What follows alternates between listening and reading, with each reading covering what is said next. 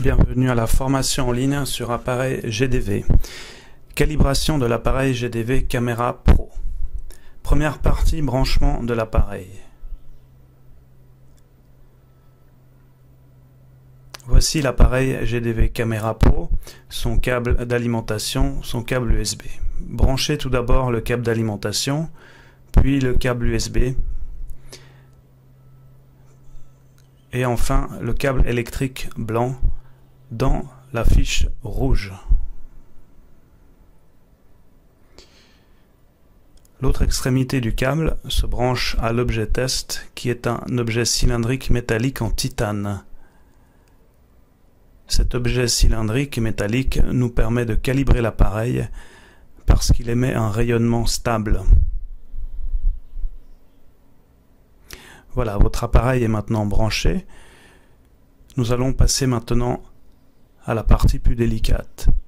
Enlevez le film plastique de protection. Remettez le cache en place. Prenez l'objet test et glissez-le délicatement dans le cylindre comme montré sur l'image. Faites attention car l'objet test pourrait rayer la vitre de l'électrode.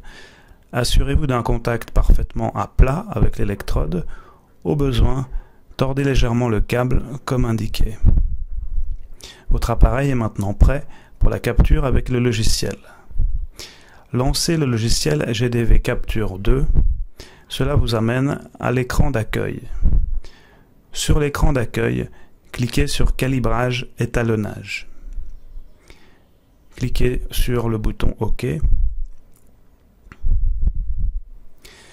Le carré vide d'image GDV sert à capturer. Assurez-vous que la palette énergie soit bien sélectionnée. Vous pouvez cliquer sur la cible rouge. Maintenant, cliquez sur le carré pour prendre votre première image. Continuez sur le carré suivant pour prendre les images de l'objet test. Vous remarquerez que l'intérieur du cercle est bien blanc. Cela nous indique que l'objet test est parfaitement à plat sur la vitre de l'électrode. Si le cylindre n'est pas parfaitement à plat, l'intérieur du cercle apparaîtra plutôt bleu. Dans ce cas, il faut remettre l'objet bien à plat et recommencer.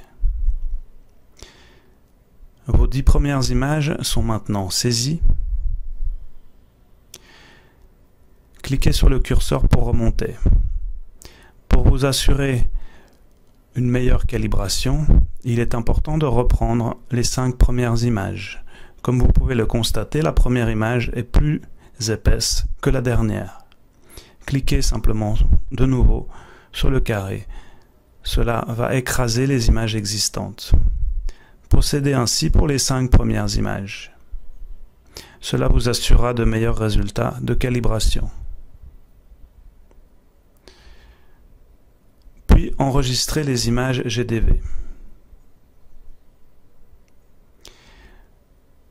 Créer un dossier avec la date du jour. Dans l'exemple 25 juillet 2013. Descendez avec le curseur pour trouver le dossier créé. Double-cliquez. Assurez-vous d'être bien dans le dossier et cliquez sur Enregistrer.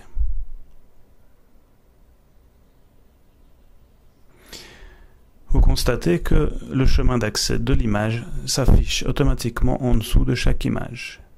Cela vous indique que les images ont été correctement enregistrées. Maintenant, vous pouvez cliquer sur le bouton Traitement. Cela va lancer l'analyse des images. Laissez l'ordinateur calculer et cela va nous amener à l'écran suivant. Sur l'écran suivant, vous allez pouvoir voir les résultats de la calibration.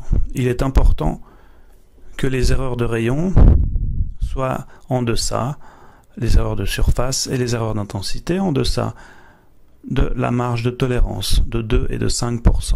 De même, pour les images GDV, elles doivent être inférieures aux normes de tolérance 4, 15 et 8%. Si une image n'est pas dans les normes, une ligne rouge apparaîtra. Dans ce cas, recommencer. Comme ce n'est pas le cas ici, nous pouvons enregistrer les résultats. Cliquez sur OK. Votre appareil est maintenant prêt à être utilisé.